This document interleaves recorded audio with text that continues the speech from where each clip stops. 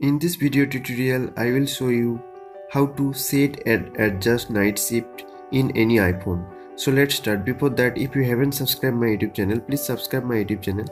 So click on settings, then scroll down and, and you can see display and brightness.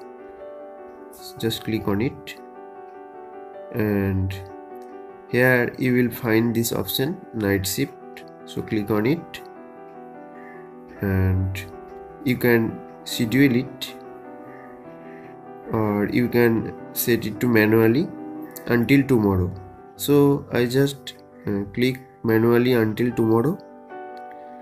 And you can adjust it by like that. Slide through right or left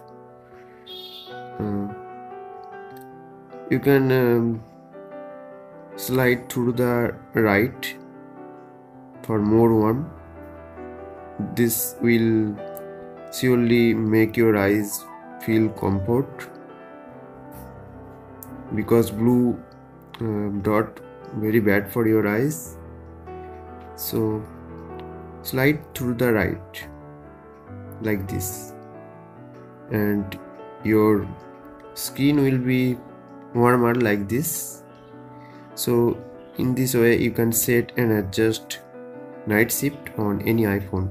So hope you like this video and if you haven't subscribed my youtube channel please subscribe my youtube channel. And if you have any question comment below. Thanks for watching